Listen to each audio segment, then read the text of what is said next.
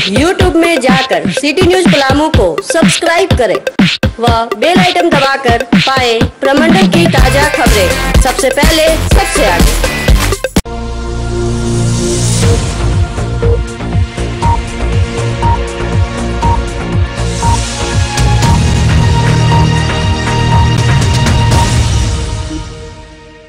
लातेहार सड़क दुर्घटना में आज तक कई लोग घायल हुए।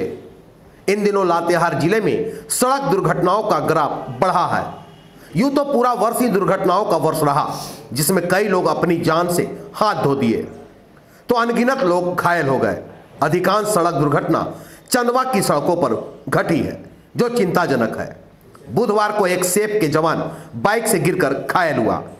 उसके ठीक दूसरे दिन, यानी दिन गुरुवार को, चंदवा के सासंग में, टेंपो व टवेरा की सीधी टक्कर में, एक महिला समेत दो ग्रामीण गंभीर रूप से घायल हो गए।